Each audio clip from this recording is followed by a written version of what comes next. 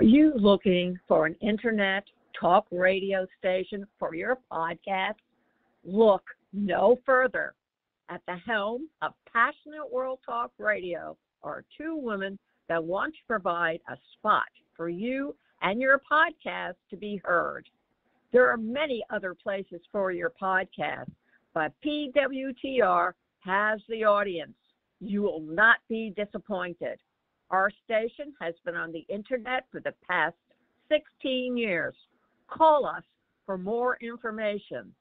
484 364 1032 or text Jeannie White, station manager at T H E C O N N E C T S H O W at gmail.com for podcast show details.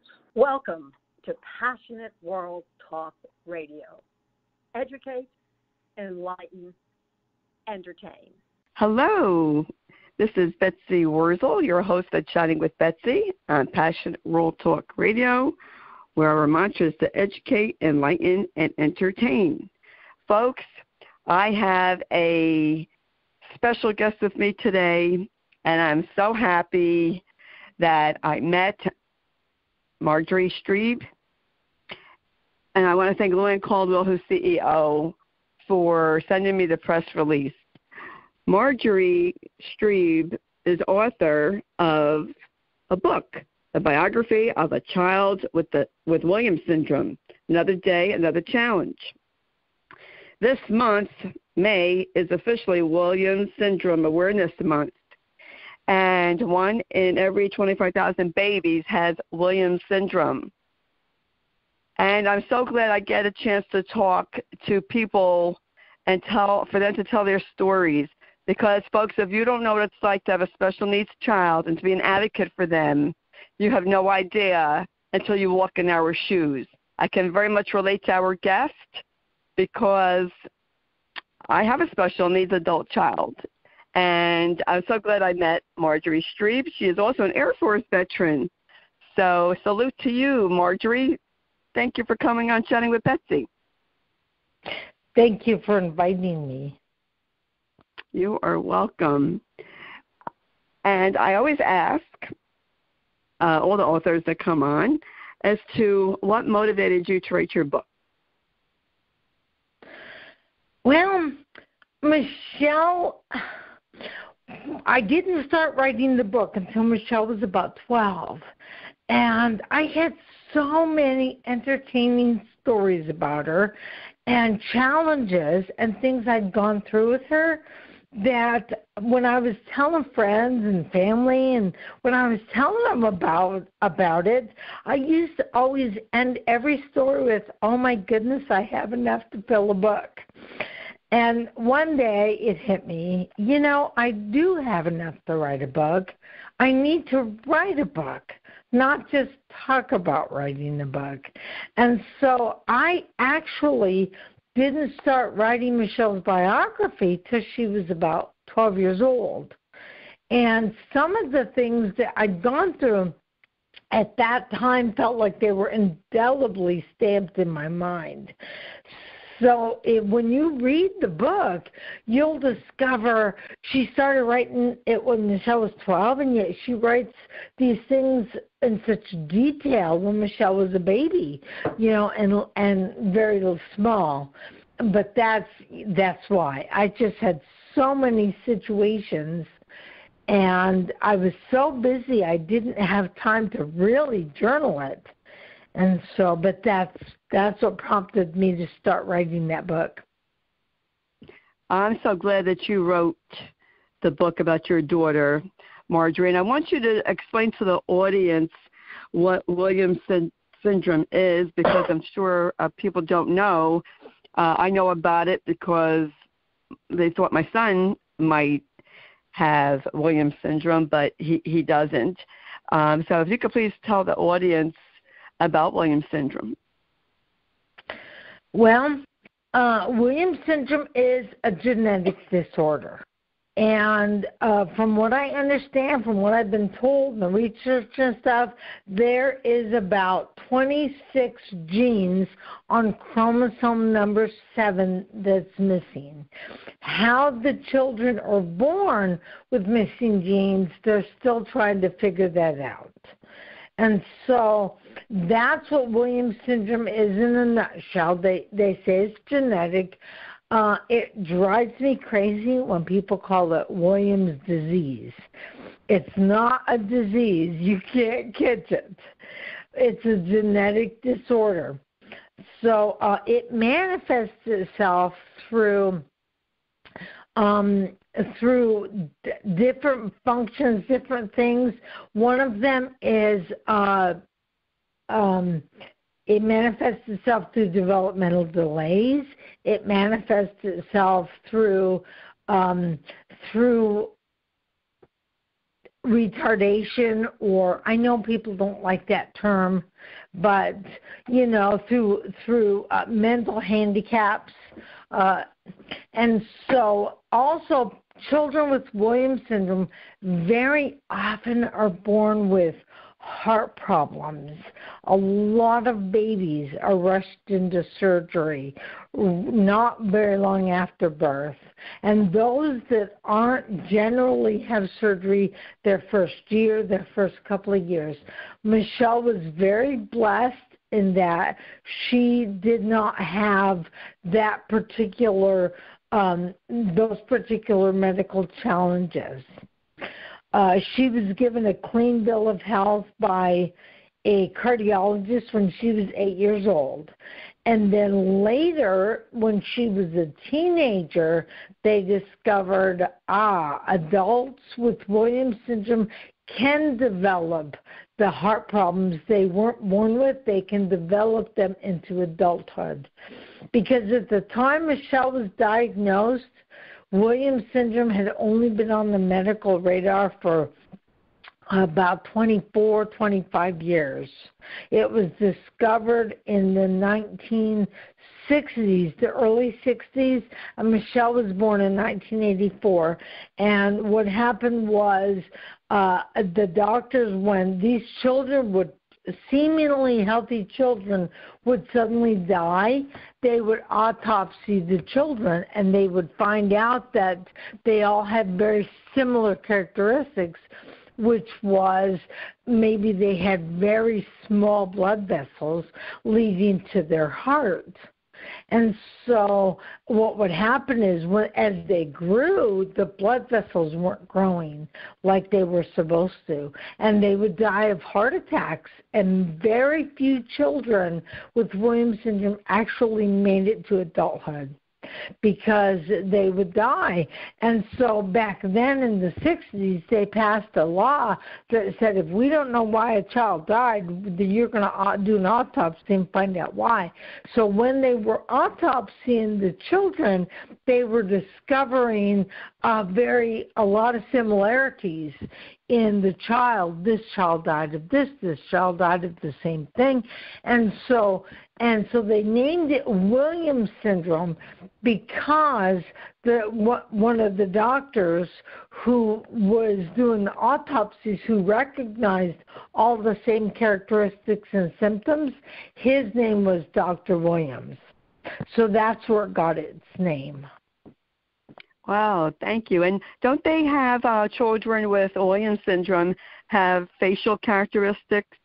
Do they have a, the flat nose and uh, yes, what, yes. Uh, they, I, I was they, you tell us more about their facial they, and they, their characteristics. Go ahead. Well, the some of the characteristics of Williams syndrome. I know I got off on the heart issues, didn't I? That's okay. Which, no, that's great. That's okay. And, we need to know. Yeah, which is and Michelle doesn't even have those heart issues. But some of the other characteristics of Williams syndrome is their facial features. It's like you see a child with Down syndrome, you know that child has Down syndrome because they look like their brothers and sisters. They look like they're all their facial features are similar. And the um, the Williams syndrome, uh, and they called it uh, I think like the Elfman-Pixon syndrome for a little while because the children with Williams syndrome all ha- look like l- little fairies. They all have that cute little facial features, and so yes, and they're they're um the characteristics in their facial features are all very similar. They're very very friendly. Um, being military, I because I was military, my husband was military. We traveled around. Um, Michelle was born in Georgia. My family lives in California. Floyd's family lives in Wisconsin or or um, um, North Dakota, eh, uh, Colorado, because his brothers were military. When we got together with the family, Michelle just, it didn't matter they were total strangers to her because Michelle never knew a stranger. When your family's military and they're scattered all over the world or all over the states and you're getting together, it's such a blessing that she'll run up to your brother that she's never met and give him a hug. But it's so frightening in today's world and today's society because you go to the grocery store and you turn around, your child is gone. It's like, oh my gosh, you have heart failure, you have a panic attack because they are so friendly. They know no stranger. And that is a characteristic of Williams syndrome. They're very friendly. They they'll hug anybody. That's kind of a sweet in, in a way, and yet it's also dangerous in today's uh, society. Unfortunately, uh, people can take advantage of a child uh, who's very you know outgoing and and friendly. Marjorie, I want you to uh, tell the audience because I know you experienced this from when I talked to you the other day. Did did you have difficulty in getting a pediatrician to believe you that something wasn't right with Michelle, or did the pediatrician already know that? You know, the the doctors didn't know that, and um, because the first baby in my life I ever took care of was my son, Michelle's big brother. So I had, by the time Michelle came along, she was number three. I had a good, I had a good foundation on taking care of a baby. I had a good understanding of milestones. You know that by the time they're six months old, they they start to sit up, they start to crawl. I I had a good understanding of that because Michelle was baby number three. My son was just a touch delayed, as in he didn't start to walk until like 15 months. His younger sister, Jamie, she was a, a go getter. She was on her feet running around by 10 months. And here was Michelle by the time she was a year old, she was just starting to crawl, just starting to sit up without falling over. And I, you know, when the, her first year, I didn't worry about her development too much because I know that babies develop at their own rate. But when I would take her to the doctor, concerned that she wouldn't even stand up, you know, you know how mothers do. They'll stand up their child. Your arm will be around them. You'll give them the support they need, and that's what I did. And Michelle would. She was at this point like 14, 15 months old, and she would just scream in panic. And so I took her to the doctor for it and said, you know, the, her fear is abnormal and the doctor just brushed it off and said, Oh, babies walk at their own rate. I wasn't talking about her walking. I was talking about her fear. and so the you know I couldn't get her to eat. Oh my gosh, uh, her diet was was a challenge all by itself because I couldn't get her to eat anything. And so the her pediatrician told me, you know what, she'll be fine. Just um just feed her what the family eats. At this time Michelle was like 14 months old. She had teeth. She didn't have a problem with choking or gagging on things. Um and so it wasn't like there was a physical reason she wouldn't eat. I just couldn't get her to eat. And the doctor said, ah, it's okay. Just feed her what the family eats. And if you're making, for example, if you're making Toby and Jamie grilled cheese sandwiches for the day, for lunch, a 14 month old baby should be able to eat grilled cheese. Just give her grilled cheese with them. Don't make her special peanut butter and jelly just for her, which, by the way, peanut peanut butter and jelly is the preferred food for for children with Williams syndrome. And when I found that out, Michelle ate peanut butter and jelly sandwiches for breakfast, lunch, and dinner, nothing else. And so uh I took her to the doctor concerned that she wasn't eating. And so the doctor he just said, ah, just if you're having grilled cheese, give her grilled cheese. If you're having, you know, if you're making spaghetti that night, cut hers up. She can eat spaghetti. She wouldn't eat anything, and the doctor then set up a follow-up appointment with a nutrition specialist a month later. So uh, I followed the doctor's orders, given Michelle what the family. If I was making t- peanut butter and jelly for lunch that day, I gave it to her, and she ate it. But if we weren't having peanut butter and jelly for lunch or dinner or breakfast, which most families don't, she wouldn't eat it. Consequently, consequently, um, Michelle lost weight, and she didn't have any weight to lose at at a year old, she only weighed 15 pounds. So, and that was because I had troubles getting her to eat.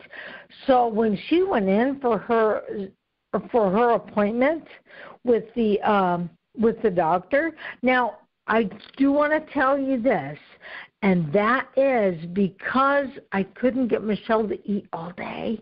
I did not let that baby go to bed hungry. Against doctor's orders, I fed her before she went to bed. I gave her a bowl of baby cereal sweetened with sugar because that was the only way she'd eat it.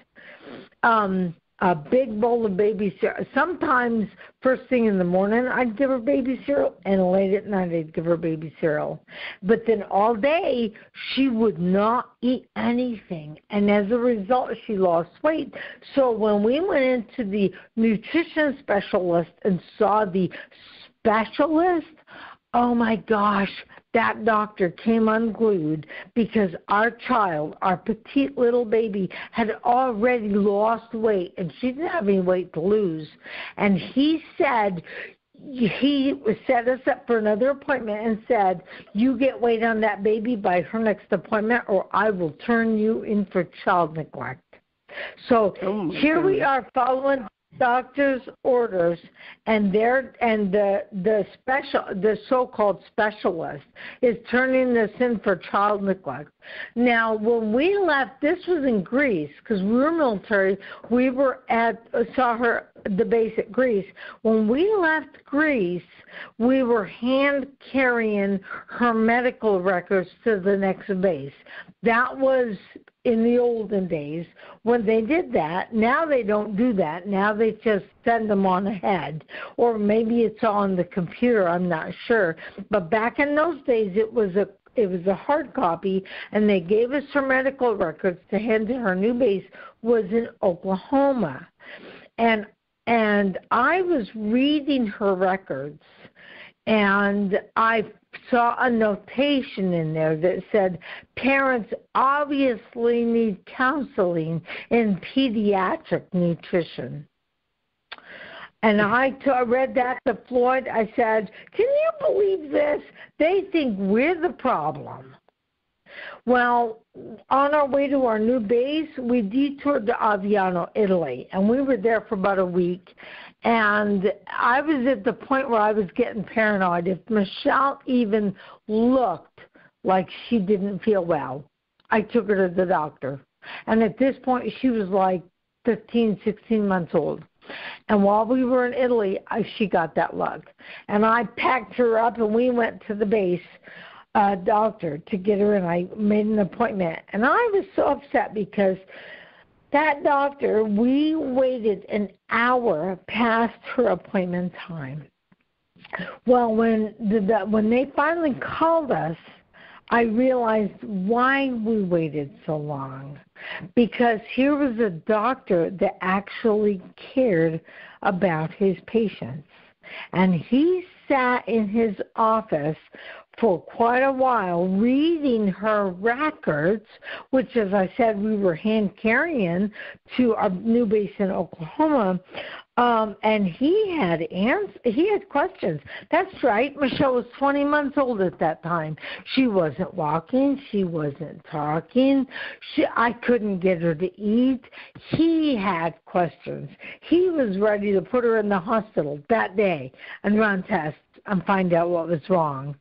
And we should let him do it. We said, "Oh, we're we're, we're in the middle of a PCS move, which is permanent change of station, and we don't have the time." He said, "Well, as soon as you get settled at your new base, you get that baby into the doctor. You find out why." And so we did the minute uh, because that that fueled my resolve. At last one doctor agreed with me that there's something wrong. I need to pursue it. So when we got to our new base at altus air force base in oklahoma um i took i promptly took michelle to the doctor and the doctor said, This baby looks good. She was 20 months old. This baby looks good. Um, and he, she said, You can go. And I said, Wait a minute. Uh, have you, we've been here for 20 minutes. Have you not even noticed that during that 20 minutes, a child four months short of her second birthday did not even sit up? She did nothing but roll on the floor? And the doctor said, No, I hadn't noticed. And she walked out of the room.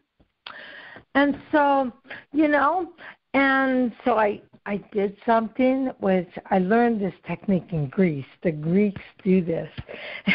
and my husband did it once and it embarrassed the fire out of me and I thought, I'm going to do it because I need to do something.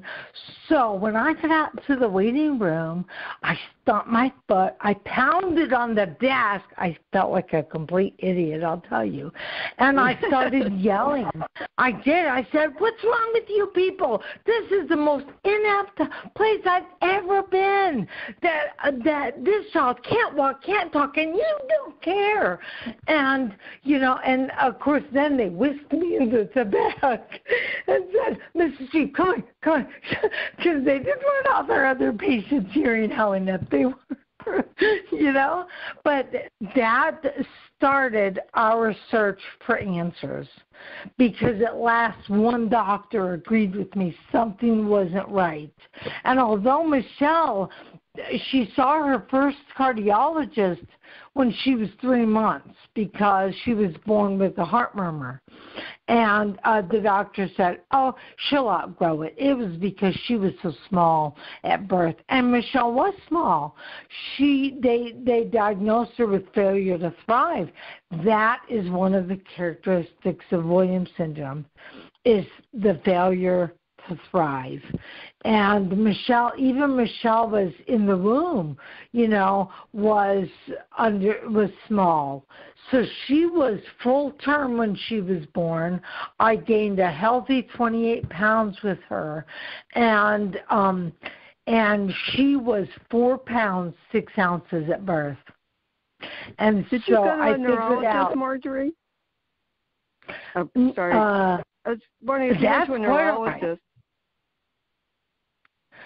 Um, no, uh, you mean as far as her failure to thrive?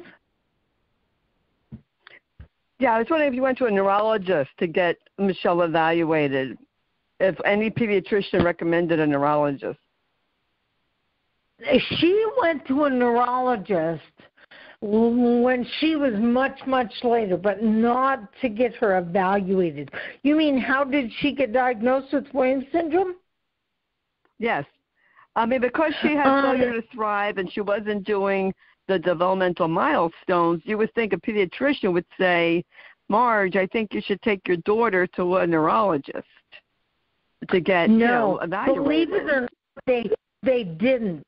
They made our search as as difficult as possible. That pediatrician in um in Oklahoma uh sent us downtown Lawton to get a CAT scan to see if there was something with the brain. And so we went down there and the results showed nothing. So then they sent us to uh Texas to um um, I don't remember that big medical center in Texas, the one that the president goes to when he's got medical problems. But anyway, they sent us down there. It was an eight-hour drive one way for us to get there. We got there the night before her appointment uh, that that they supposedly had made. And then when we got in there, they said, You don't have an appointment. Oh we oh, drove eight hours one way for an appointment that they the and the the hospital, the clinic where we where we were stationed was saying you've got an appointment. Here's the day. Here's the time. Here's where you go. Don't miss it. So um we said okay, we won't. We got there. We didn't have an appointment. They said, "Oh my gosh. And apparently it wasn't the first time they had done that because they told us, oh, yeah, you would not believe how many times Altus has sent patients here and told the patient they had an appointment and they didn't have an appointment. So they stayed till the end of the day and saw Michelle after all their other scheduled patients saw her at 5 o'clock. Anyways, so she wasn't diagnosed there. At that base, Floyd retired from the Air Force. and when he got out of the military, we drove to uh, Cincinnati, Ohio, which is we still live in the Cincinnati area because he got he landed a job with GE, and I met a wonderful lady who said to me, Marge, there's help out there. Do you mind if I help you find it? And I said, No, I just don't know where to look. So she contacted uh, Butler County Developmental Disability Services and they called me. Now, at that time, we lived in Hamilton County. So when the lady found out we lived in the neighboring county, she said, Oh, well, let me hook you up with them. So then they sent somebody out to the house to evaluate Michelle uh, from their services. And at that time, Michelle was about two and a half years old, three years old.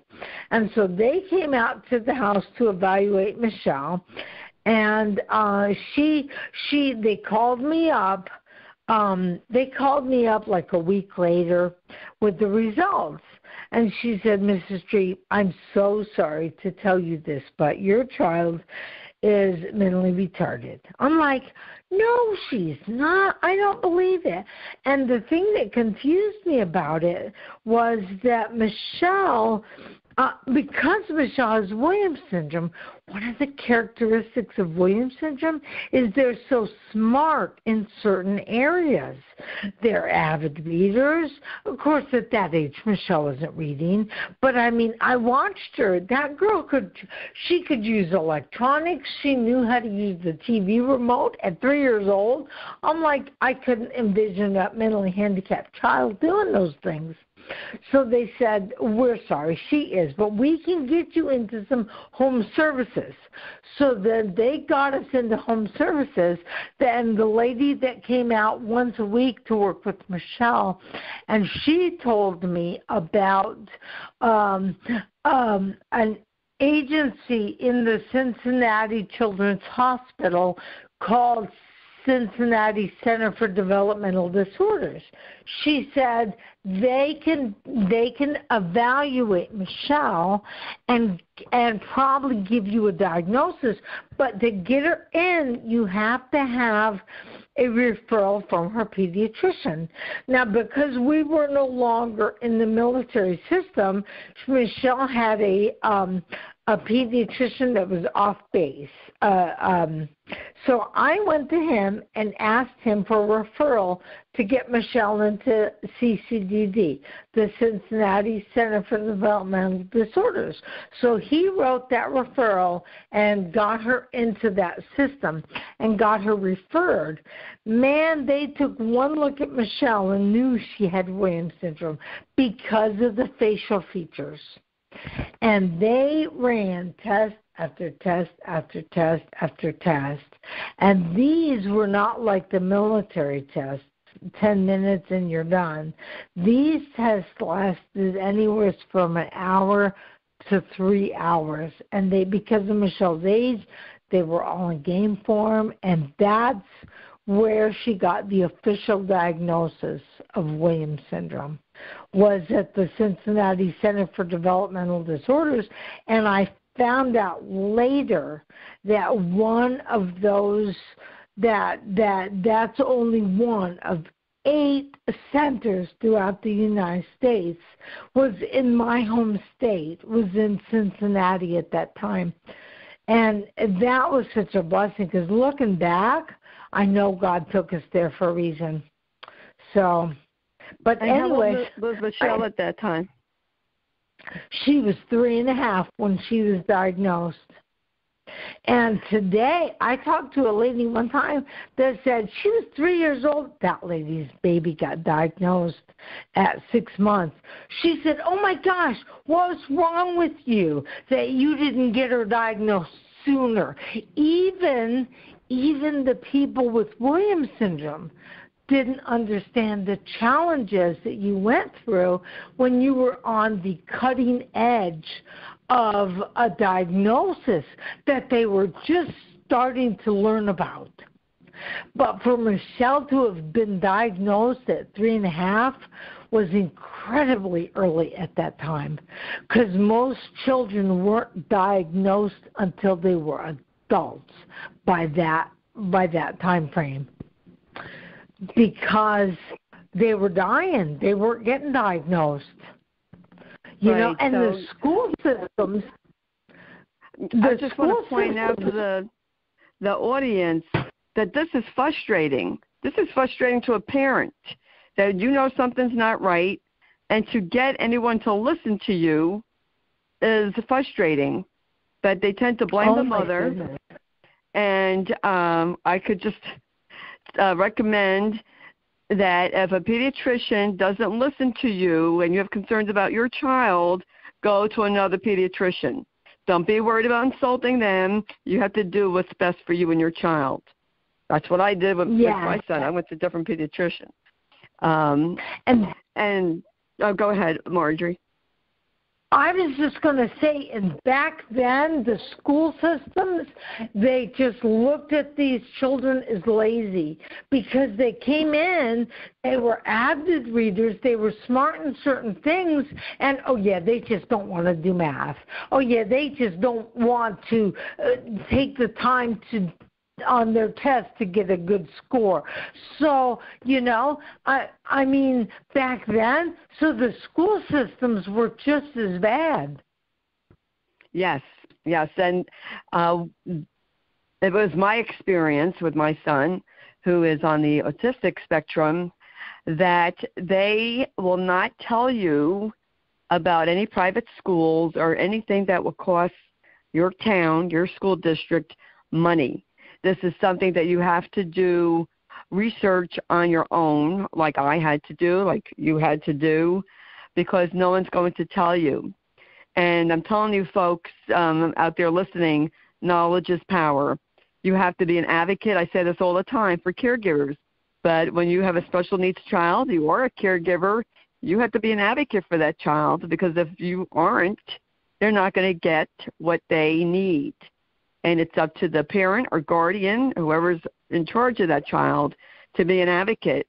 It's it's like you know, yeah, I guess you do have a choice. If you don't advocate, um, be an advocate, your child is not going to get what they're what they need. You have to be an advocate to make sure your child gets what they need, and it's not easy. It's a struggle, and, and I know that it's a struggle because I had to deal with it myself um, with the child study team, not telling, you know, information, and this is why support groups is so important.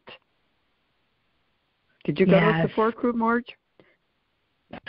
I well, Williams syndrome had a support group, but none of them dealt with what I was going through, and so I still felt all alone in in the you know when the Williams syndrome mothers they all talked about how wonderful their child was and this and that. And and when Michelle was little my fight was with the doctors and the school system.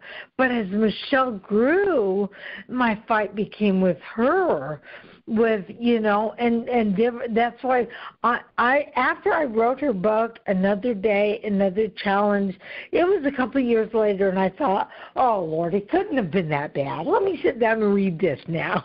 I sat down and read the book and oh, i thought oh my gosh my head was spinning when i got done.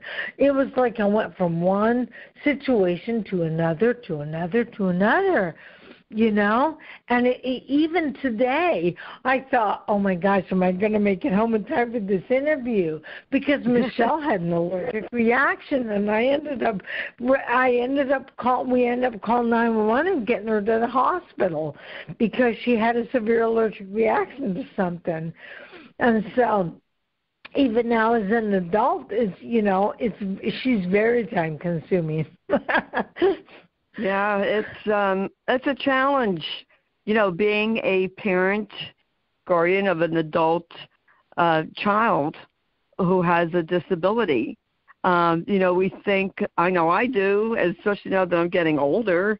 I I do have power of attorney uh for Josh, but you know, who's going to take care of Josh? Who's going to look after him uh, when when I die? I mean, this is a fact, and um, you know, it, it's hard for people want to take on that responsibility. Do you think about yeah. that, Marge? Of what is going to yes. happen to Michelle? Because I know we, I do. We have, we have thought about it. We did a living, we did a trust for her, so that anything that we have, we can put her in and, and leave her some money that's not considered an income, but finding somebody willing to take her is a challenge because yes. you know her i know that her brother and sister don't want to be straddled with the responsibility and so and i can't fault them there you know but even then her brother and sister both read the biography and said oh my gosh mom we didn't realize you went through all this with michelle. And so you know so even though you've got other people there they don't always know. They don't always understand. And true. yeah you know, that, that's very so, true that's very true. Uh, when I wanted to take uh, Josh to a neurologist, uh, my father said, "Oh, you're looking for trouble, Betsy," and I said, "No, trouble found me. Um, I have to to go." And I knew, and I would tell the pediatrician, you know, Josh is behind, and of course the pediatrician blamed me, or you know, blamed Josh. Oh, he's lazy. He's just lazy and I, I had to tell the audience, and this is what I highly recommend. You have to go with your gut instinct. If you think there's something that isn't right with your child, you know, follow that gut instinct, go to a different doctor, and keep going until you get peace of mind. A good pediatrician will take the time to listen to you, and they should not be blaming you that child could have a neurological problem and that was the case with with my son, who's the same age as Michelle, only a few months older. And you yeah. know, it, it's frustrating. It, it is frustrating. and I want people to, you know, to realize this, uh, Marjorie, and they shouldn't judge because right away we get judged by the doctors and by um, our families, by um, you know even where you go, places of worship. Um, people judge. Yes. Why can't they do that? Oh or, yes. You know, it's it's very Yes. it can be very painful. Floyd's brother, Floyd's brother, um, he told us Michelle was little at that time and wasn't even a problem. She just was developmentally delayed at that point. She was like six or seven years old, and Floyd's brother said, "When you get tired of dealing with this," and he motioned towards Michelle, "Send her to me. I'll straighten her up in a hurry." That was Oh. Floyd's brother, you know, and so and so yeah there there are people that just don't understand. Um his older brother this was a different brother who who found out that i wrote the her michelle's biography when the first edition came out he said to floyd he said oh he said now you're going to be wealthy. Floyd said are you going to buy a book? He said no. And then i won't be wealthy. Well something prompted him to go buy that book. He lives in colorado. Something prompted him to go buy the book. So he went and bought the book and he read it. And after he read it after he read what we've gone through with michelle he went and bought another copy to give to his doctor and said, Read this. You need to know about this. Wow. You know? And so yeah, um That's great. um you get you get it from the doctors, you get it from the schools, you you it doesn't matter. You they just they don't know, they don't understand, they don't listen. You talked about places of worship. When Michelle was twelve, we had her reevaluated through CCDD and um I took the evaluation and I gave it to uh, to the youth pastor at our church, the children's pastor, because I I figured they need to know. Michelle's 12 years old. They're wanting her to go into the teen group, but she I discovered that she matured six months for every year she aged chronologically, which means that at 12 years old, she was only functioning and thinking on about a six-year-old level until she reached her develop, her peak developmental age. But I gave him that report, and I said, "Here, I think you ought to read this." And he said, "Okay." So he took it home and read it. The next time I, at church I saw him, he didn't mention it. So I asked him, "Did you read that report I gave you?" His response was this. He said, "Yes." I read it. I understood it. I couldn't disagree with it more. These people don't know Michelle. Because people could see Michelle's intelligence, which was which was uh, manifest or characteristic of Williams syndrome, but they couldn't see her learning disability. And so, and that's what I, I was at a Williams syndrome function one day, and I, I mentioned that. I said people can't see past their intelligence to their learning disability. And boy, I, I had people, mothers with uh, children with Williams syndrome, that turned around and said, "That's exactly right. Our family thinks this. Our family thinks that. Oh, you baby them. You this. You that. You the other." Because they cannot see what's really going on and they don't want to listen. Why would they? They already know everything. Their child doesn't act that way. Yes, that is so true, uh, Marjorie. I had um, with um, with Josh. He was delayed, so he wasn't potty trained until he was four. But once he got it, he Michelle got it. too. And my dad said to me because my my older brother um he had issues but you know back then they didn't diagnose. And my dad said to me betsy your brother you know pooped and your mother put the diaper right in bradley's face and that cured him. That's what you should do for josh. I said uh no dad that is child abuse And uh, Josh has a neurological problem, and if you two ever do that, you'll never see Josh again. I could tell you that. Don't even think about it. Um, but you know that's the old way of of thinking, and people just don't uh, understand. And especially, like in my son's case, Josh looks fine, but he has um, cognitive issues. He has trouble processing information. He doesn't like telling people he doesn't understand what they're saying. He's embarrassed to say that, and I encourage him to say it but people just don't understand. And they are so quick to pass their judgments that yes. you know anyone I mean let's face it folks, I being a, a mom of someone who has special needs, dealing with Alzheimer's, anything can happen to anyone. In a spin of a dime, it can happen. Oh my yes. Um, and so don't judge until you walked in our shoes. And as far as I'm concerned, I had a guest say, if you haven't walked in my shoes, then you're not fit to tie my shoelaces. Um, just people just, you know, my mother-in-law, she wanted me to force Josh to drink from a cup. Josh couldn't drink from a cup. He couldn't. He couldn't do it uh, at that at seven months old. He couldn't do it.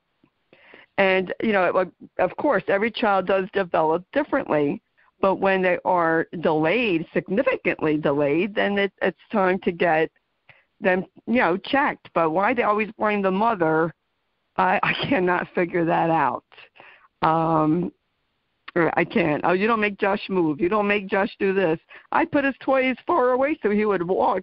He was delayed in you know walking and crawling and sitting up, um, all that also but it, it's yeah. just um your story. I'm so glad that I met you because your story, you know, touched my heart. We have a lot in common, and I want people to know about uh, our stories. I want them to know about your story and Michelle's uh, situation, and learn about what people go through, what parents go through when their child is diagnosed and you know you're fighting all sides you know family doctors child study team and you trust you trust these people to do the best by your child and then you find out they're not and it, it yeah. is difficult you know um you become yeah. Strong right? I mean people say oh yeah you're strong. Well i had no choice. I had to be strong. I had, you know you learn to develop a backbone that's for sure. Um uh, Marjorie, is there anything um, else you'd like to, to say to the audience? I'm gonna I'm gonna have to have you back later on this year to discuss well, Michelle's adulthood. I, yeah, I I did want to say that just like Josh, Michelle looks normal. She looks fine, and she can talk so intelligently. I remember on the phone one day she said, Mom, I'm so discombobulated. She uses big words and doesn't even know if you ask her, Michelle, what does discombobulated mean? I don't know, Mom, but I know that's what I'm like. You know, and my son is looking that word up in the dictionary. He's like, Mom, I never heard that word. I thought Michelle made it up. Come to find out it's a real word you know? And so I did want to say uh, for any of your viewers out there that are interested in looking for the book, this is the third edition. And so make sure you're not confused by the first one or the second one because you know the the the first edition I didn't realize how long um the court system lasts and Michelle got into trouble with the law through something she did and uh went to jail and so and that's where the first edition ends. So the the one you're looking for is a is the third edition. It's not on the cover but if you see one that look inside the book uh, you'll see it says third edition. Another day another challenge. It is the complete story of you know right up in fact it's got a recent picture of her at age 37 in the book her and her kitty cat So And is this available on? It's available on Amazon. It is. It's available on most in most major retail booksellers, Amazon, um, Books and um, Barnes and Noble, and uh, Books a Million. So you know, most where it, it's also available in paperback or in an ebook, Kindle Oh. or the Nook or whichever you know so people that might have have the e-readers because they're on the go a lot it is available in ebook Oh, great. Well, I want to thank you, Marjorie Strebe, for coming on, for writing your book, telling your story. The name of the book, folks, is The Biography of a Child with Williams Syndrome Another Day, Another Challenge. Please yeah get the book uh, and learn about this syndrome. And, you know, I just um, can't thank you enough. Um, chatting with Betsy is real stories, real conversations, unscripted, because I want people to be a 100% themselves. And um, I just love doing what, what, what I do. And I want to thank you, Marjorie, for sharing your story and um, definitely going to have to have you on again later this year to do part two of Michelle's adulthood. And folks, thanks for listening. If you missed any of this show, you could catch it wherever you hear your favorite podcast. Um, on Castbox, Spreaker, Spotify, to name just a few. It is free to subscribe. And I forgot to say this in the beginning. The views of the guests may not represent those of the host of the station. And I want to thank Jeannie White, who's station manager at Passion World Talk Radio, for writing a blog, producing the show. I want to thank Lillian Caldwell, CEO at Passion World Talk Radio, for sending me the press release about Marjorie Strebe. And I'm so glad I interviewed you, Marjorie. Folks, in a world where you can be anything, please be kind because you don't know what the battles are that people are facing. Please don't judge. Please be kind. that's true We definitely would um, appreciate it. I think everybody would appreciate if everybody else was, was kind. We don't know what people are going through. So just um, offer a smile and um, just be be kind. I can't say that enough. This is Betsy Wurzel, your host of Chatting with Betsy, on Passionate World Talk Radio. Till we chat again, be safe, everyone. Bye bye now. Are you looking for an internet talk radio station for your podcast? Look no further. At the helm of Passionate World Talk Radio are two women that want to provide a spot for you and your podcast to be heard. There are many other places for your podcast, but PWTR has the audience. You will not be disappointed. Our station has been on the internet for the past 16 years. Call us for more information. 484 364 1032 or text Jeannie White, station manager at T H E C O N N E C T S H O W at gmail.com for podcast show details. Thank you for listening to Passionate World Talk Radio. You can listen to this program all over again by going over to https colon forward slash forward slash passionate world talk radio dot com. You can also hear it on Spotify, Spreaker, Amazon ALEXA, AMFM247.com every Tuesday evening between 8 and 9 p.m. YouTube, Facebook, Facebook Live, LinkedIn, and all the other podcast directories one can find on the internet.